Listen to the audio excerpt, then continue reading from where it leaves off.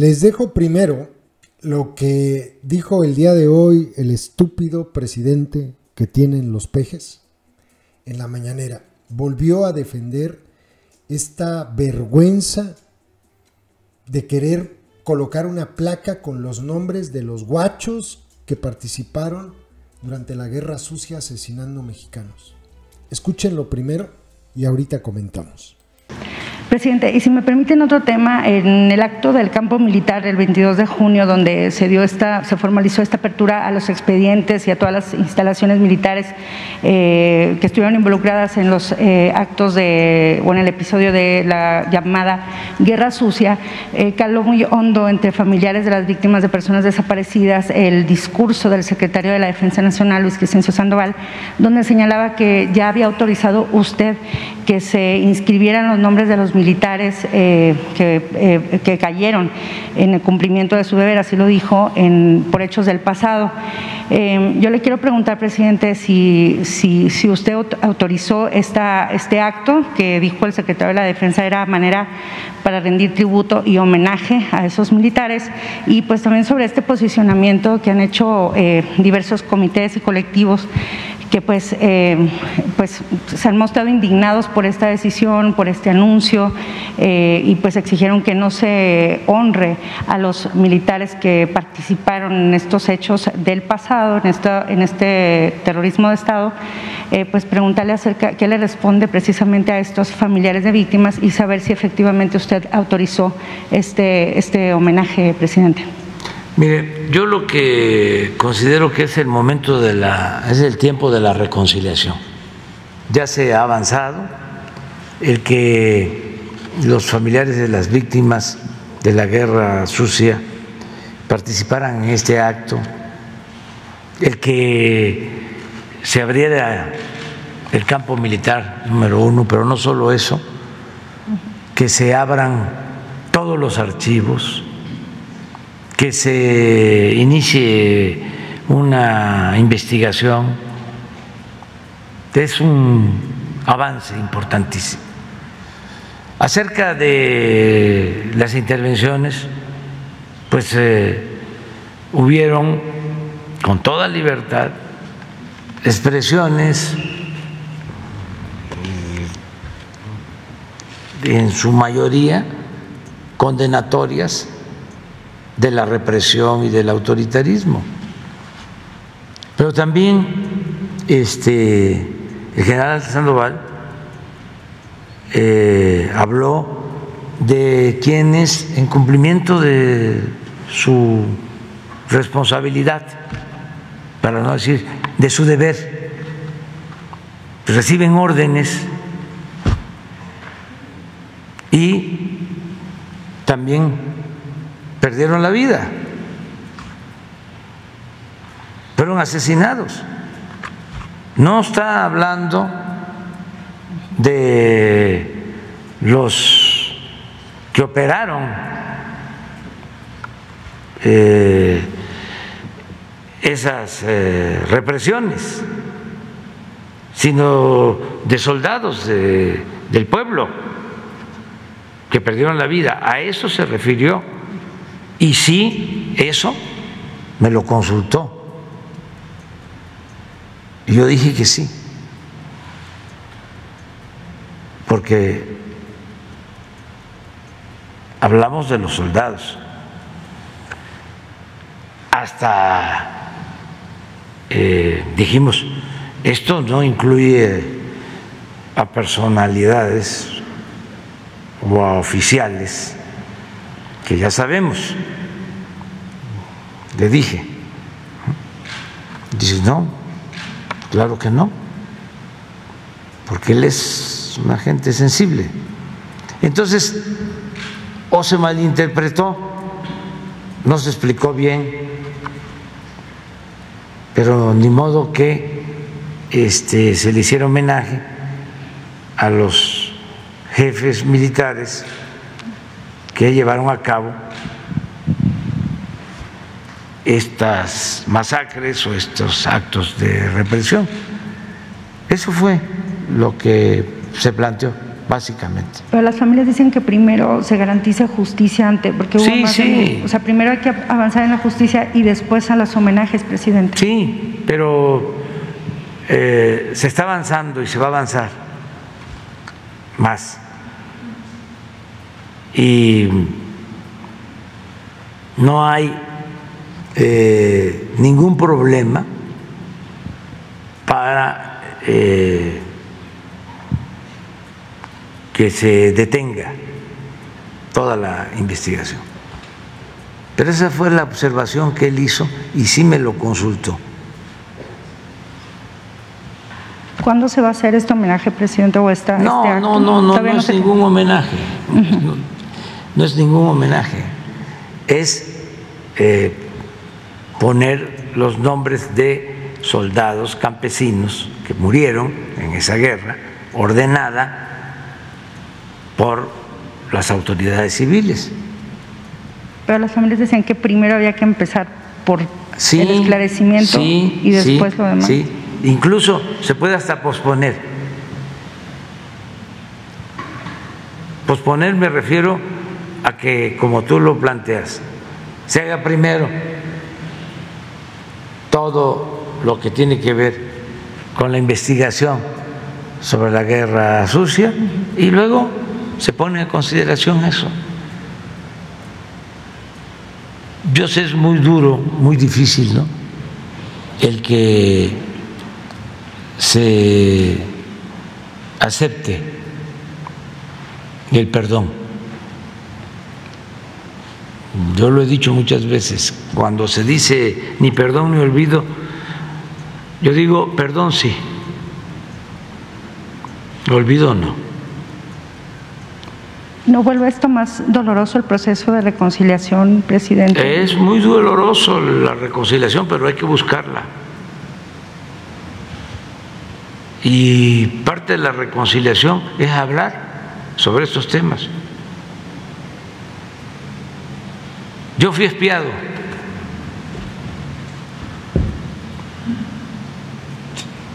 por Nazar Aro, quienes participaron en la guerra sucia, en el periodo que se está investigando. Tengo mi expediente y ya este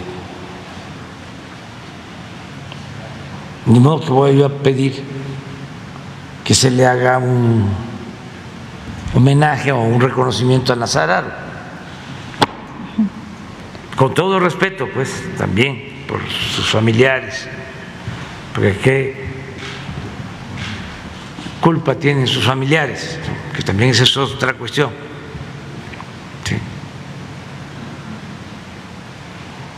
Es muy fuerte todo esto, pero este, se tiene que eh, conocer toda la verdad.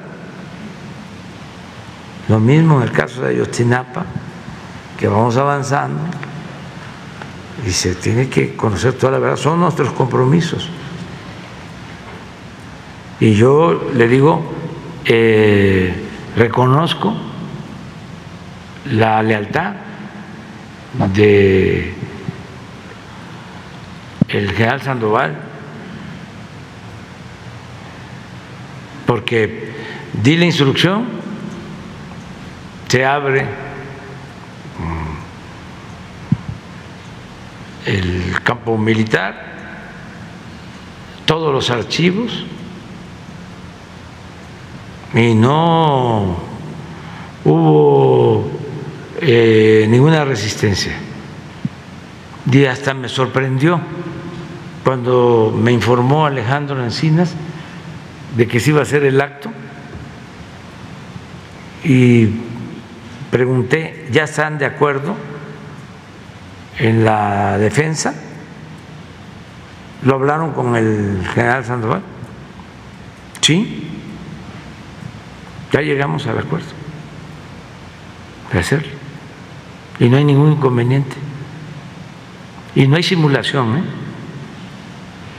no se va a esconder ninguna información. Entonces, cuando iba a hacer su discurso, me lo mandó y me mandó a preguntar eso. dije, sí, sí, pero esa es la explicación. Hablando de los soldados que perdieron la vida también en esa guerra, ordenada por jefes militares y desde luego por autoridades civiles, soldados. Ah, si ese párrafo les pareció ofensivo,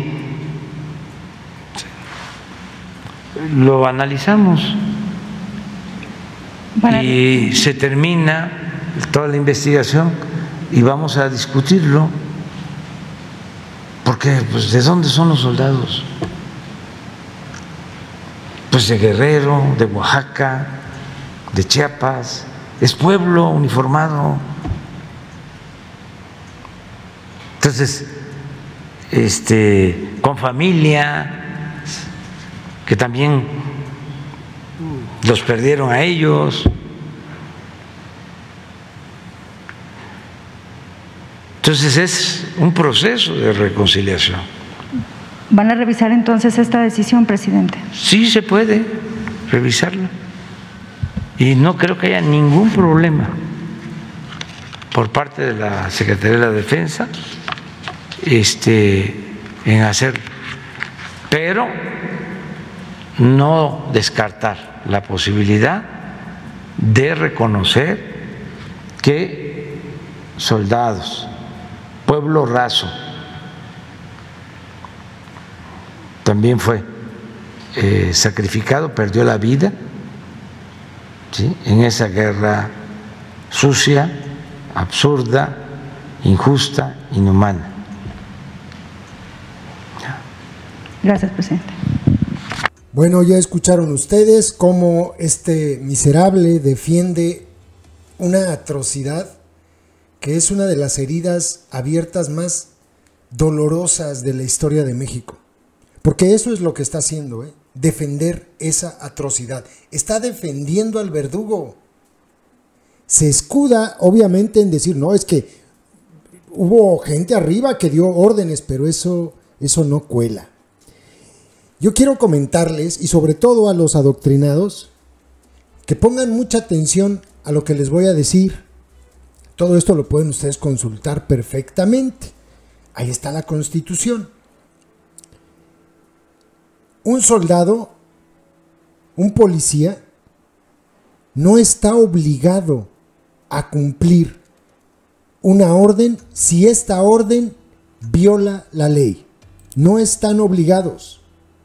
Así es que los militares, los policías, no pueden escudarse en esto que él no nombra, porque es muy cuidadoso con ello, y se denomina obediencia de vida.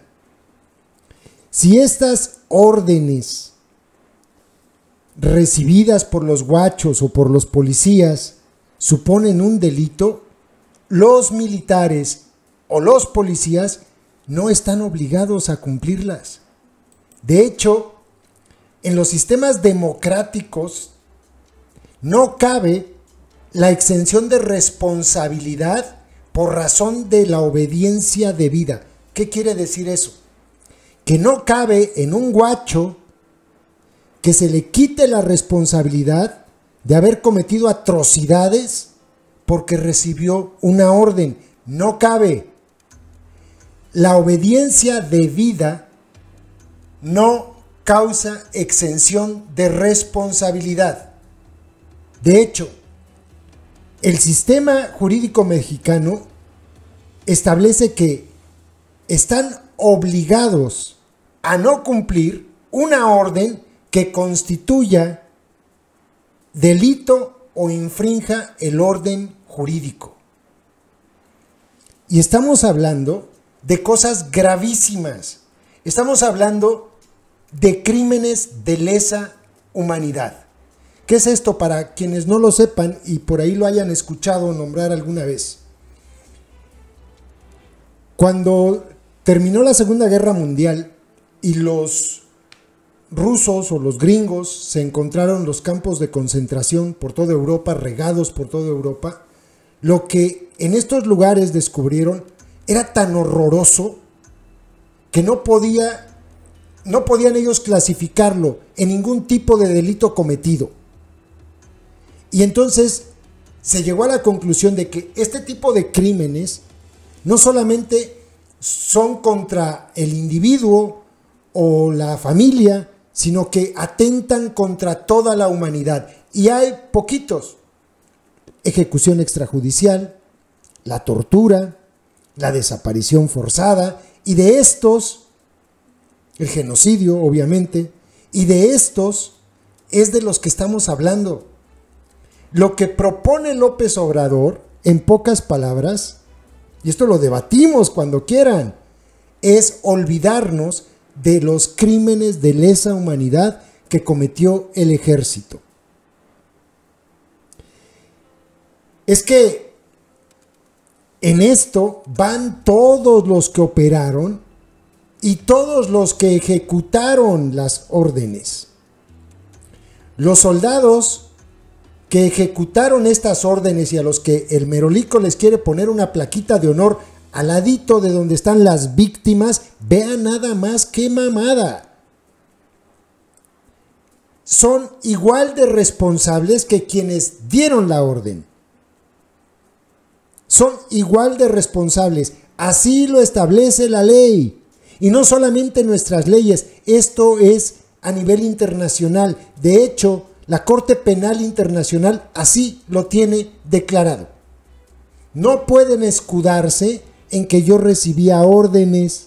Y fíjense qué astuto es el imbécil de la presidencia. Dice, no es que eh, obedecieran, cambia la palabra, no es que obedecieran orden, es que cumplían con su responsabilidad. Uy, pues entonces está peor. Hagan de cuenta que yo, imagínense una escena así, porque es hasta tonto, los ensarta solito. Imagínense que ahí está la mamá con el niño. Y la mamá manda al niño y le dice al niño, oye, ve y apágale a la lumbre de los frijoles. Y entonces ahí va el niño y en lugar de apagarle le sube más el fuego. Y después se queman los frijoles y llega el papá y dice, a ver, pero ¿cómo es posible que se hayan quemado los frijoles? ¿Quién es el culpable ahí? ¿Quién es el, el que estaba obligado, según los términos que plantea el merolico? ¿Quién es el que acataba la orden? Pues el niño, ¿no? ¿Y quién es el responsable de haber mandado al niño? Pues la mamá. Hasta tonto es porque los ensarta más. Si no quiere decir esto de obediencia debida, y les dice que son responsables, los ensarta más. Es muy grave lo que está diciendo López Obrador y esto demuestra que definitivamente no hay, no ha habido presidente en los tiempos modernos de México más militarista que este güey, más facho que este güey. Nadie había defendido con tanta vehemencia al ejército. Bueno, ni siquiera el PRI se atrevió a abrir el hocico así para defender a estos criminales que mataron a quién sabe cuántas miles de personas. No se malinterpretó como dice él el párrafo que se leyó, que leyó el güey de Chencho Sandoval. No, quedó bien clarito. Quedó perfectamente clarito. Él es un conservador facho, mm, militarista, más asqueroso que cualquier otro. Bueno, de verdad, los del PRI no se atrevían. Los del PRI cuando les hablas de la guerra sucia agachan la cabeza, les da vergüenza. Son cínicos los güeyes, ¿no? Pero les da vergüenza. Este güey no. Este va más allá, quiere poner una plaquita con los nombres de estos malnacidos al ladito de los nombres de las víctimas.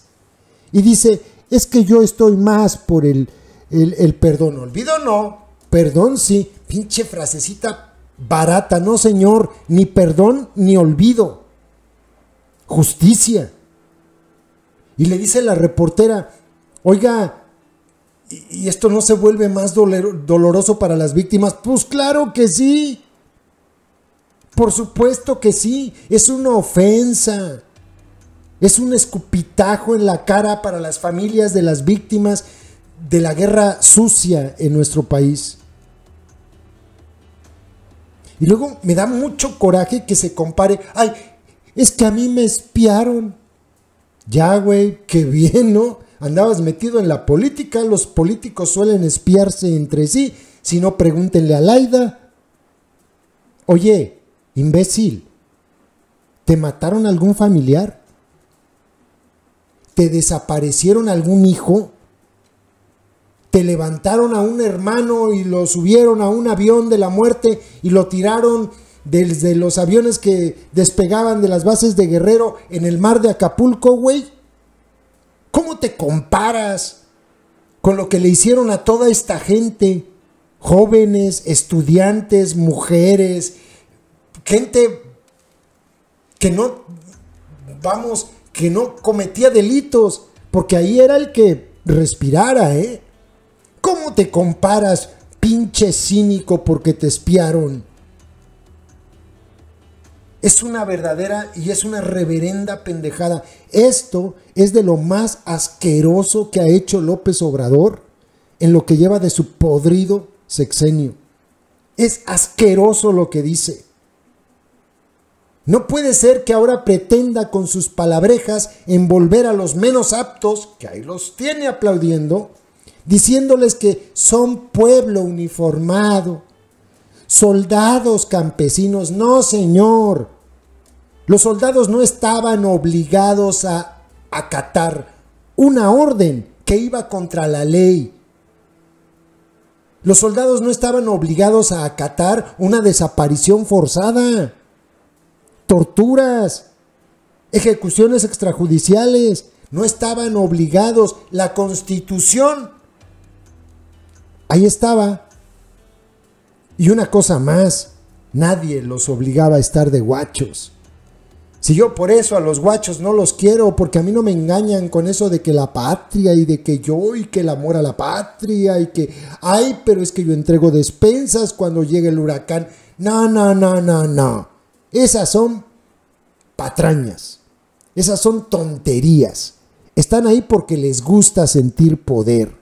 Porque se sienten muy chingones con su uniforme y con traer un arma y salir y amedrentar a todo mundo, se sienten así, porque son pobres güeyes descerebrados, que encuentran en eso, pues lo más grande que han hecho en su vida. Y se sienten con poder y pasas tú a un lado de ellos en las calles y te voltean a ver y te miran así de rojo. Son ojetes. Ese no es un trabajo decente. No, pero es que es para darles de tragar a mis hijos. Vete a vender pepitas, cabrón.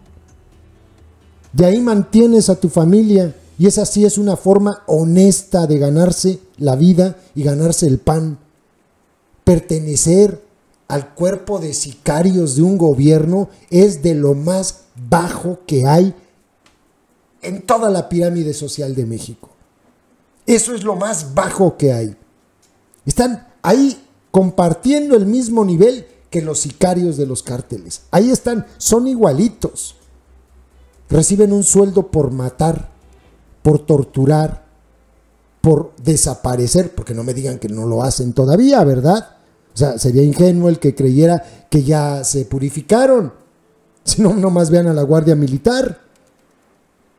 Esto que dijo López Obrador el día de hoy es vergonzoso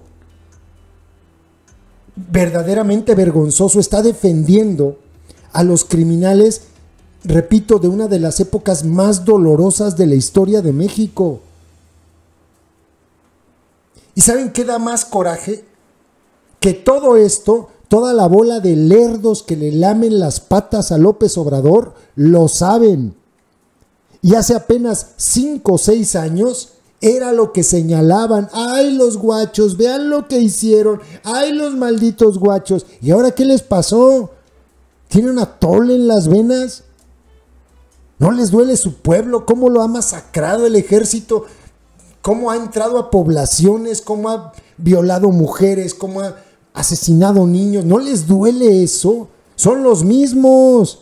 No los cambiaron, no hubo depuración. Es más, de hecho, el pendejo que está como secretario de la Defensa Nacional era el brazo derecho del delincuente Cienfuegos. Sí, sí, el que está relacionado con arcos. ¿A poco no sabía Chencho Sandoval que su jefe andaba metido con el cártel de Sinaloa? No sabía. Ah, no, con los Beltrán Leiva. Bueno, eran cártel de Sinaloa. No sabía.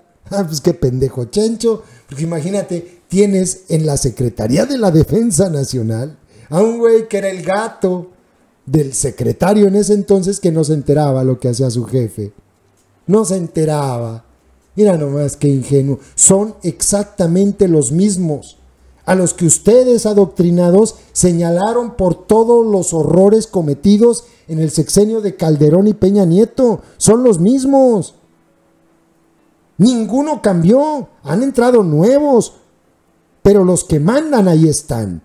Y hay un montón de guachos que estuvieron en el sexenio de Calderón, en el sexenio de Peña Nieto y hoy están en el sexenio de López. E incluso hasta pasaron a formar parte de la policía. Ahora se llaman guardia militar. Es un asco de verdad. Es un asco. O sea, despierten. Les ven la cara de tontos y aplauden. Les escupen estupideces como estas en la trompa y abren la boca y se tragan el escupitajo. Es una ofensa, es un... Es verdaderamente grotesco defender al verdugo. No, señores, que les quede bien claro. No estaban obligados a obedecer una sola orden para cometer crímenes de lesa humanidad. Y eso es imperdonable. Y a ese imbécil se le olvida. No se le olvida, se hace pendejo. Pero nada de que perdón sí, olvido no. Eso solamente lo tienen los descascaronados, por no decir lo más feo. Y como él no tiene cascarones, entonces se va por esa. No, señor, ni perdón ni olvido. Y los guachos son lo más asqueroso que ha parido México. Aunque no les guste. Son del mismo nivel que los sicarios que descuartizan gente. Son iguales. Son lo mismo. Son escoria. Y al que no le guste, que no vuelva a entrar al canal. Definitivo. Ahí me lo expresa en algún comentario. Ya saben que los bloqueamos y se acabó. Porque aquí no tenemos atole en las venas. A nosotros sí nos duele lo que hicieron esos perros durante tantos años como para que ahorita llegue este imbécil y les quiera poner una plaquita de honor porque son soldados campesinos. No, no, no, no, la madre, son criminales. Esos son criminales. Saludos, compas. YouTube nos hace clasificar los videos que subimos para que puedan ser publicados. En esa clasificación nos indica que los videos relacionados con el crimen organizado no se van a mostrar en sugeridos y no enviarán notificaciones cuando sean publicados. Por eso para poder verlos tienes que ingresar al canal y buscarlos. Todos los días subimos videos con esos contenidos. No olvides que ya abrimos un nuevo canal, Personajes México 2, vea él dando clic en la pantalla final de este video donde dice, mensaje importante, y suscríbete.